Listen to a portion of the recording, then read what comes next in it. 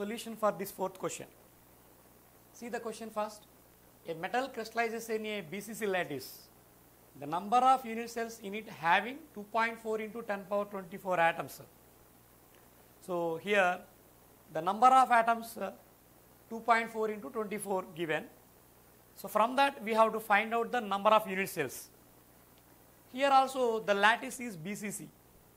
First tell me what is the effective number of atoms in BCC?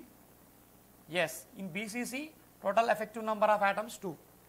Already in the previous question we calculated that 8 into 1 by 8 plus 1 means 2.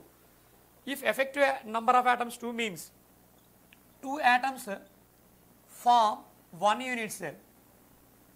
If 2 atoms form 1 unit cell, if 2 atoms form 1 unit cell, then how many atoms we have? 2.4 into 10 power 24 atoms we have. So these atoms now form how many unit cells? That is the question. So how to how to solve it?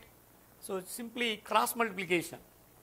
Number of unit cells equal to number of unit cells equals to 2.4 into 10 power 24 by 2. What is this value? Its value is 2.4 in uh, this uh, how many times? 2 in 2.4 how many times? Yes, 1.2. So this is 1.2 into 10 power 24. If two atoms form one unit cell, then uh, 2.4 into 10 power 20 atoms form how many unit cells? So cross multiplication. How? 2.4 into 10 power 24 by 2.